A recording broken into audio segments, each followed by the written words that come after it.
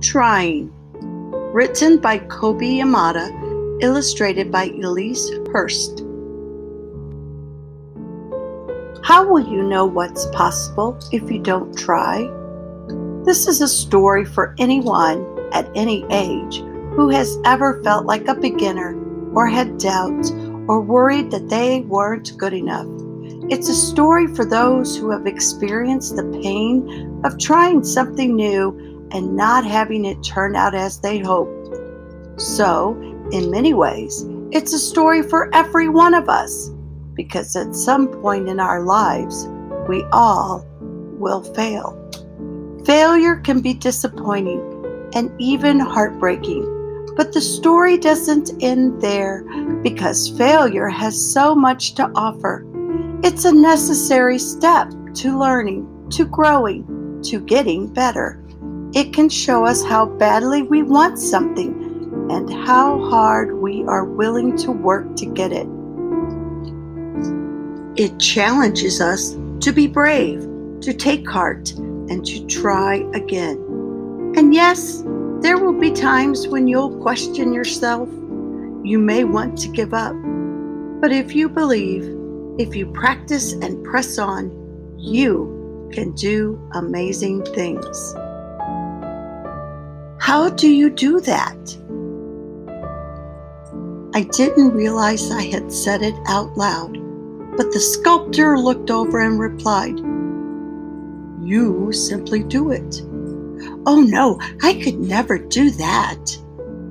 How do you know? he asked. I just know. Confused, I walked away. He must be joking, I thought. But as I left, I couldn't help wondering what it would be like to create something so incredible.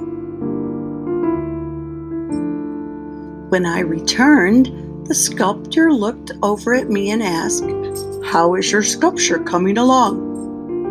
I, am just here to watch. The best way to give your talents an opportunity is to try, he responded. I'd rather just watch. I can't mess things up if I just watch. Ah, yes, he nodded. If you do nothing, it feels safe, but everything stays the same. If you do nothing, there's less to experience, less to love, and less to learn. The fear of failing is the scariest part, and it stops most people from starting. The only way to get where you want to go is to take a step in that direction. And the best way to do that is just to begin. It was all I could think about. Even as I slept, I dreamt of creating beautiful things. I was excited to get started, but as I was working, I realized that something was wrong.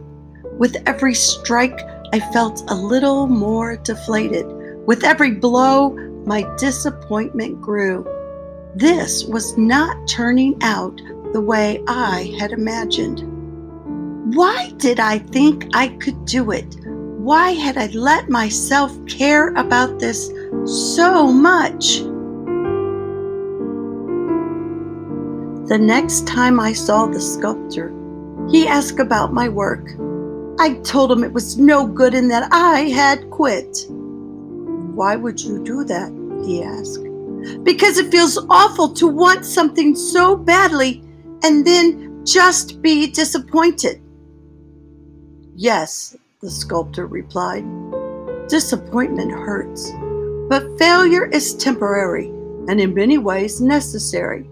It shows us how something can't be done, which means we are a little closer to finding out how it can. When you first tried to walk, you fell but you picked yourself right back up and tried again. You were willing to fail over and over and over, and that is why you succeeded. How do I know this? You are standing in front of me now. I had tried, and I had failed. Now he was asking me to try again? What good would that do? I had already proven I couldn't do it. But if I was honest, I wanted to believe I could. So, even though I worried that I wasn't good enough, I decided to try again. I worked and worked, and then worked some more. And while I could see it was a little better, it still wasn't at all what I wanted it to be. I stormed up to the sculptor. See, I told you I wasn't any good, and this proves it. Are you happy now? Yes, he replied. I'm happy. It is good to see you sculpting. But but it's terrible. I don't even know what I'm making anymore.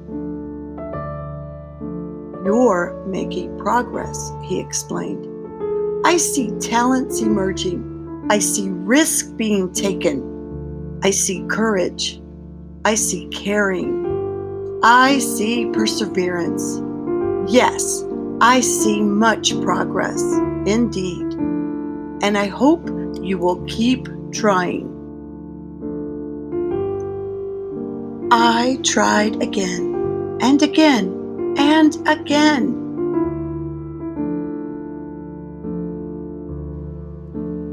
As I stepped back and looked at my work, I had to admit I wished I was better. I went to talk to the sculptor and he asked me to go for a walk with him. He said, I know it can be hard when things don't turn out as you had hoped, but be proud of your failures. I know I am, every one of them. I can't imagine you ever failing. He laughed. More times than I can count. But each time you fail, you get a little smarter, a little braver, and a little stronger. The truth is, we are all failures. The dreamers, the doers, the creators. Being a failure means you love something. You cared. It means you stepped forward and didn't hold back. It means you tried.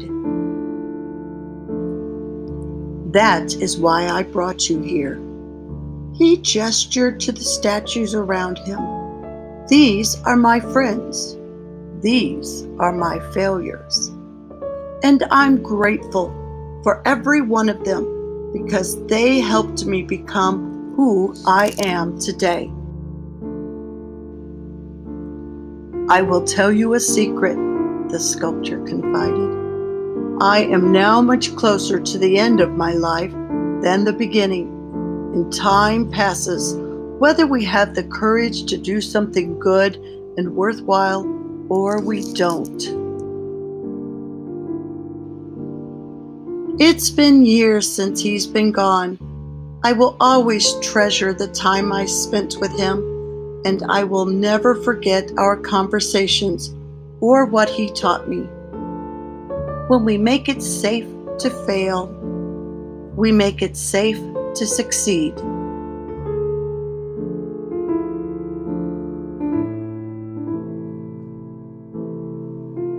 How do I do that?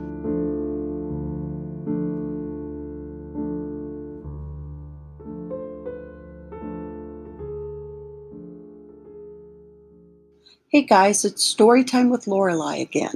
Don't forget to click like if you like this video and share this book with all your friends simply by clicking the share button. Please hit subscribe to see more of my book videos. Thanks everyone. See you next time.